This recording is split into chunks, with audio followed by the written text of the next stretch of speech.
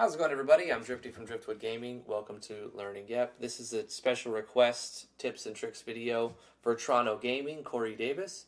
And we're going to be looking at uh, a special situation in where you can create, um, you can have large party members and you can create summoning units like turrets in this example that uh, behave in, in specific ways. I'm going to try to go through this as fast as possible. I'm going to show you first what I'm going to create in this tutorial and then stick around if you want to learn how to create that. So I've created several skills for this demonstration. Uh, I'm going to use the same one on five of the party members that we have. So I'm going to summon five turrets. I'm using some Yanfly plugins. I'll go over those after the, the presentation. Uh, one of those plugins that I'm using is Sound Ciphers. It lets me press the shift button and everything runs faster. So the whole process is you can speed up your battles and whatnot. Of course, we're fighting Thanos. I've removed the HP bars from the the um, turrets themselves, the summon, but you can put them back if you want. Um, I made a move to repair the turrets. They actually do take damage, which you can see. Um, like say I went to heal, you can see that the turrets 2 and 3 have taken damage. Um, I'm just going to have the party member attack and show off the turrets. So they are controlled by an AI, and they will do two, um, one of two attacks: automatic blaster or overblast. An automatic blaster, I'm using Yanfly's weapon replace to make their basic attacks become a different skill. So I made a custom skill and replaced their basic attack with that. But then I used weapon unleash so that I can specifically just, uh, say 20% of the time I want them to do um, a different attack, an overblast or something like that. Okay, my mouse is causing a problem here. That's why the up and down wasn't working. That's a targeting core plugin from uh, Yanfly. I'm going to throw in some extra skills, uh, but I'm going to be mainly talking about the turrets in this video. I kind of want to just show you that states appear on them and any state animations will apply. They're actual uh, actors, so you create actors. So I'm giving a lot of commands, right? I'm giving five commands for party members, one, two, three, four, five, but then ten of my actors are, are battling for me. And uh, I think it's a, a really cool concept to add automatic party members to like your army if you're making a more uh, strategy based game but want to use a side view battle system uh, it's a it's a cool approach to things and this is a rather hard fight to um, beat with just the turrets but you can see how the turrets disappeared um, as was right on time um, they disappear after three turns and they and then you, it's a five turn cooldown of course all of these numbers are just like uh, temporary placeholder and they can be manipulated because this is a template for you to use. So you are allowed to use this sort of um, idea in your game, just change it up for to fit for your custom scenario. So if, if you want to create something like that, let's just go over how you would do that. Um, we're going to need a few plugins. The core engine, the battle engine core, action sequence packs helps, but not necessarily re required for this. I was using uh, HP gauges, which I personally like, but you don't have to use them. Requirement for this will probably be buff states core um, for the states. Yeah, so you're going to need buff states core. Uh, visual state effects is just makes it so that you can see the states better. I like this plugin for this type of thing, but you don't necessarily need it. Um, what else would you actually need? Do you even need all this other stuff? I don't think so. I did show off examples of Weapon Unleash plugin. So auto passive states, Weapon Unleash, because I think one of the states is going to need this plugin as well. Uh, it's a few things. Uh, finally, there's two more that you'll need and one optional. Party system and the row formation, you're going to need those two Yanfly plugins. Put those in. Uh, some manipulation of parameters will be required based on your game. For example, in the party system, you want to adjust the max battle members from the default four to however many people you want. If you want to have like three people in the back row and then three summonable units, you would do six. In this case, we have five party members, a front and back row for the party, and then a front front row for your summons, which are in front of the party, and you can have up to five of them acting as summons. And so you have 10 max uh, party members.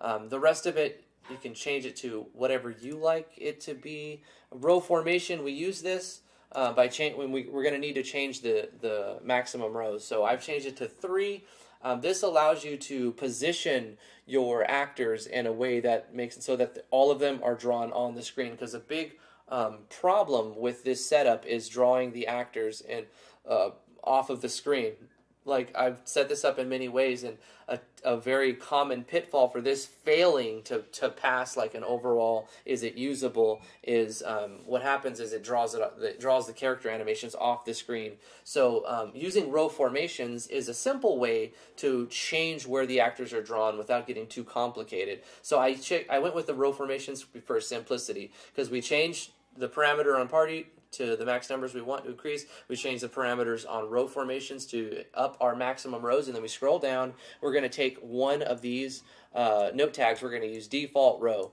and then we copy this.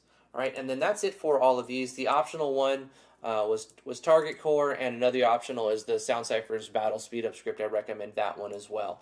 The rest, you know, you know, you don't really need all of the stuff that I put in this project, but uh, really good to have.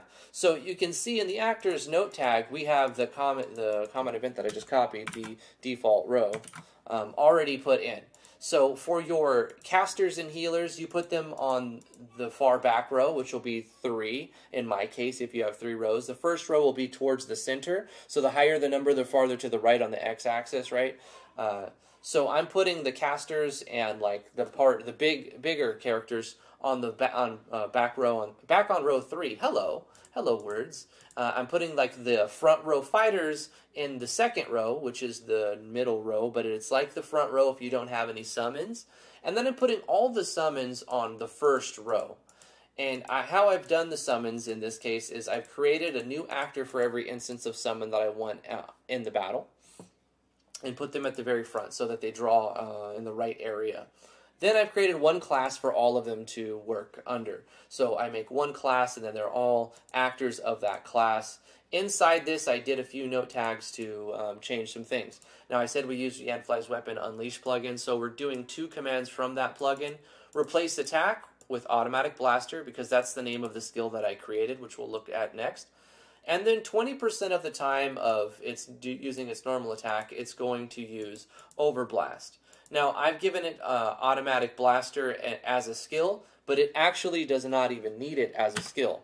Because we've replaced its basic attack with the skill, it doesn't even need access to specials or magic. So I want to test that real quick, but I believe that it doesn't even need access to any skills or any uh, traits when you force them through um, Weapon Unleash plugin. And then I've, what I've done is I've, I've hid the HP gauge because of the way that I set it up. Putting the HP gauge on your turrets, um, not only does it take up more, more real estate, which I was fine with, but it caused a bug where it would stick around. The HP gauge, that is, would just stay there after the turrets disappear, after the timer wears off. Um, so anyway, I'm hiding HP gauge to fix that bug. You can, but not everybody will encounter that bug. If they don't have HP bars, they won't even need that.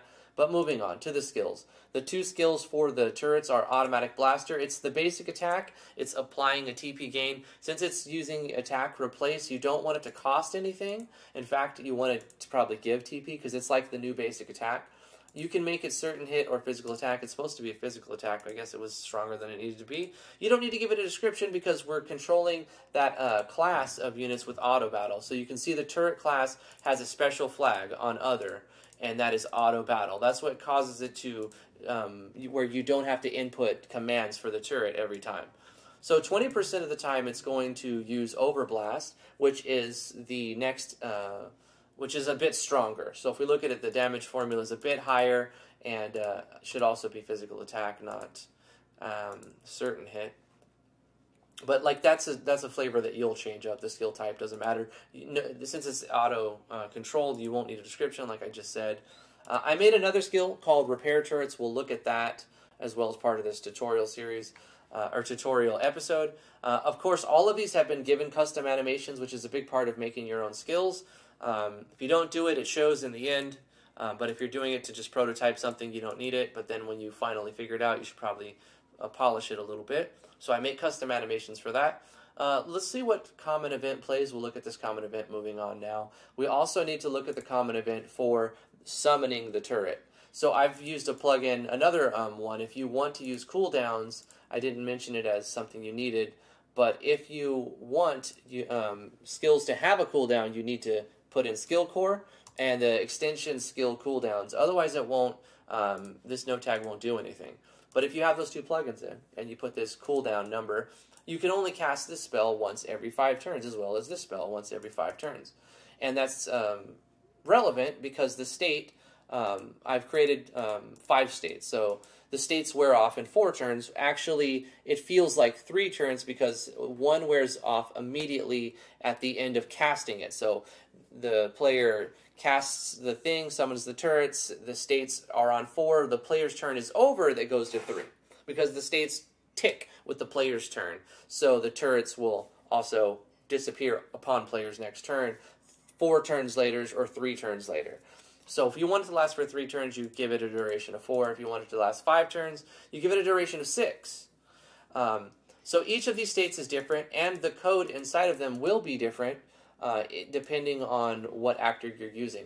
So um, I'm using um, Yanfly's Buffs States Core in order to put in some JavaScript and uh, that will run at a specific time. Buff States Core from Yanfly, fantastic pl- plugin, I love it. So I'm using custom remove effect, and that means when this state is on a, a target, when it is removed, it will run this code a single time.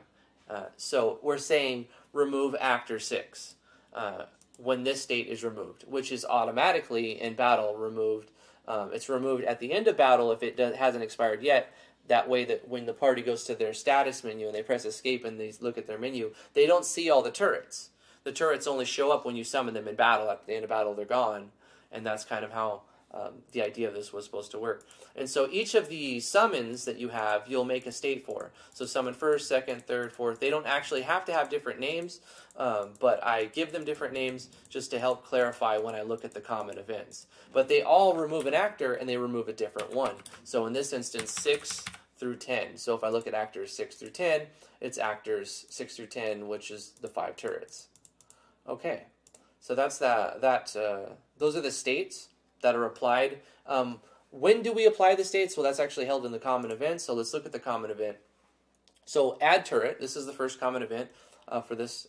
Uh, you use the skill, and the skill calls this, this common event. The skill we're talking about is summon turret. We use summon turret. It calls a common event. In this common event, it's just a series of checking to see who's in the party and adding a party member and adding a state on that party member. So when you call it, it's checking, I'll kind of go verbatim through this, if turret 5 is in the party. So that is actor number 10.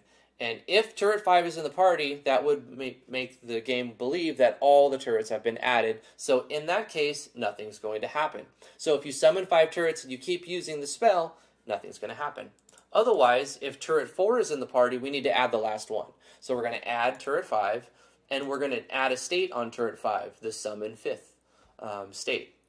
Otherwise, we're going to add, we're going to check to see if 3 is in the party, and if 3 is in the party, uh, then we're going to add the fourth one and put a state on the fourth. Then we're going to see a 2, 1, etc. Otherwise, what we're going to do is just, we know that nothing's in the party because turret 1 isn't in the party, and the way we designed it, if turret 1 is in the party, 2, 3, 4, 5 can't be in the party. Um, unless something else removes them from the party, which nothing else is.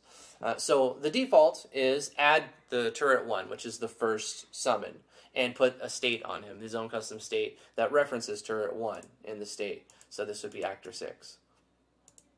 And that's what happens. So common events, change party, change state, that's it. That's the summon skill. Um, the next thing is um, we automatically handled the removal of the turrets in battle. So at the end of battle, all of your states should wear off, all of the summon states. But if they don't, you might somehow bug or glitch the game into a state that allows the player to have all of their uh, turrets outside of combat. That could cause a lot of problems in different ways, so we, I made a contingency setup to fix that. So this is a common event that says no turret out of battle, and what it does is it just checks to see if a turret is in the party. So it checks all five of them in their own conditional statement. Is the first turret in the party? If so, remove it. Is the second one in the party? If so, remove it. And this is a parallel that's going to run once a switch has been turned on. And a switch that switch can turn on in your initialization phase. So this is a parallel process that's going to run right here. Um, and it's the same thing. So I could have this parallel process run as an event, as you see here, or you can have it run as a common event that runs whenever you feel like hitting that switch. So I put it in two ways. I'm only calling it through this event actually, but it could run both ways. All that's really doing is making sure that if there are turrets in your party, um, they're no longer in your party, like so that you only have five outside, or however many you decide that you should have. Um, and then finally, you have the last one, the repair turrets. All you're doing here is changing the state of all of the turrets. Um, you're checking, you're doing a change state, and you're saying uh, remove knockout. So you don't even have to check if they're knocked out. Just say remove knockout, and that's good enough. You, you can say see if they're under the state of knockout, and if so, remove it but it's unnecessary and it's just about the same amount of processing power if you just say remove knockout from all of the turrets and then change their HP by uh, the maximum amount that they can have and just add. And now you're not changing max HP, you're just changing HP. So it's a healing them. It's bringing them back to life and healing them all. And I believe that is it. We've done the skills. Um, did we do any items? No, no weapons, no armors. Uh, we made Thanos, but that's it doesn't really matter. That's just for flavor and the Thanos battle. Of course, I'm working on a way to uh, make battle backgrounds just alternate really smoothly uh, during test battles. Uh, I'll figure that out later. But yeah, that's a tips and tricks video. It took 16 minutes. Holy crap. Um, hopefully you guys like it. There's a lot of uh, things to absorb from this video. And thank you so much to all the patrons on patreon.com for supporting this type of content and helping everybody uh, learn through example.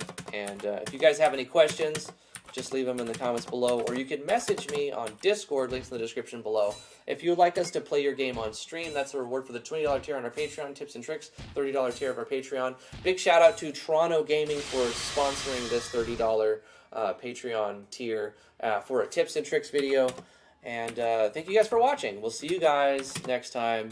Have a fantastic one. Bye bye.